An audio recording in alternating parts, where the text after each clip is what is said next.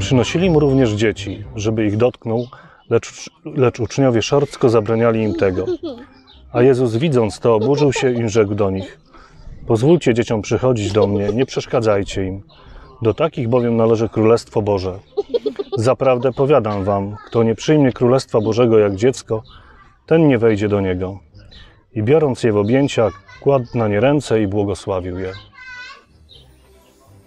W nanokonferencjach bardzo często mówimy, jak trzeba podejść do religijnego wychowania dzieci. Natomiast z dzisiejszej Ewangelii widzimy wyraźnie, że role się odwracają.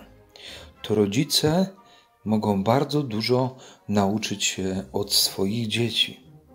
Po pierwsze, yy, mogą zobaczyć, że dzieci mają naturalną chęć bycia przy Panu Jezusie. Że dzieci wychwalają Boga swoim istnieniem, i to jest pierwsza podstawowa modlitwa każdego człowieka.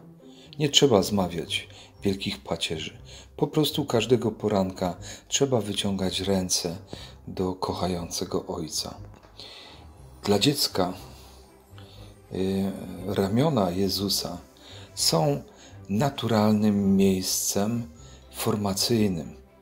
One garną się do Jezusa i chcą, żeby Jezus nakładał na nie ręce, ponieważ y, y, zdają sobie sprawę z tego mm, na tyle, ile potrafią, że y, przychodzi do nich błogosławieństwo.